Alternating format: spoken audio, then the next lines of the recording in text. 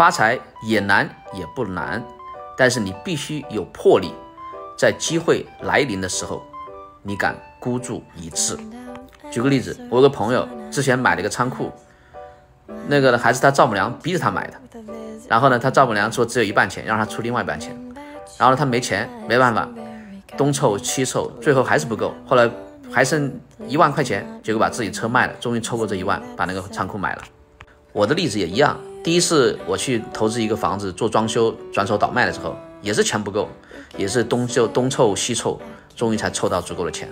另一个例子，我买活动房社区的时候，本来是想把房子自己贷款净值拿出来买，结果呢，卖主等不及了，那我没办法，我只好去找高利贷，把钱借出来以后，把活动房社区买到手，然后把房子借出来的钱再把高利贷给还了。很多穷人总是抱怨自己没有机会，你不是没有机会，只是同样的机会在你面前，你没有。小红书。